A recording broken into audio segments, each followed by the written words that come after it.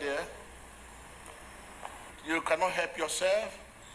It's like you want to leave your wife, marry an old, very, very old. You have beautiful woman, but this is a charm. You find yourself falling in love with this woman and you don't know. Come. Don't be shy, you put on lace. Il a déjà dit qu'un jeune homme ici qui avait quitté sa femme, se marier avec une femme beaucoup plus âgée et très laide. C'est un fétiche. So it's something you cannot explain. Himself know that the wife very beautiful. This is an old woman. He has suddenly fallen in love. He want to leave. He want to just disappear and leave the wife. Man of God, help me. I'm the man that want to leave my wife. I cannot help myself. I have been crying ever since that if you did not deliver me today, I will leave my, my wife to another woman. And you know your wife is beautiful than the person you are going to meet.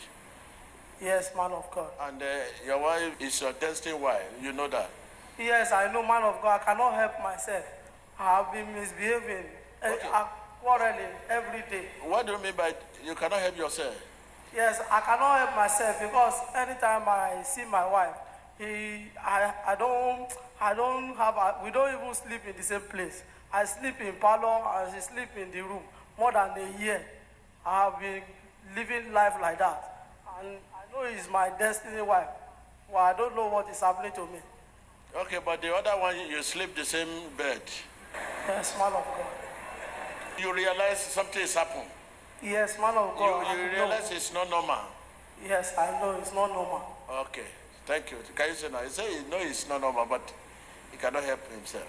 Mm. Jesus!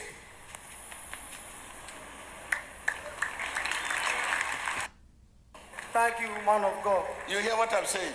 Yes, man of The God. feeling that your wife is the most beautiful woman. Yes, it's very beautiful. Now, Yes. tell me more, tell me more. Man of God, I know if I come here for my testimony, you will see my wife very, very beautiful. Yeah! yeah! Clap for him! I will not allow you to go home. You will be here. I will send for your wife. Because the way the way he's doing you now, I don't trust you.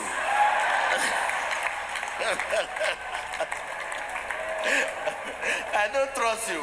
So don't forget you, you will call the wife to come here. So so that uh, I will regulate that uh, affection. It's, it's too much now. Thank you, Jesus. I'm delivered. Thank you, man of God. Don't go home, oh.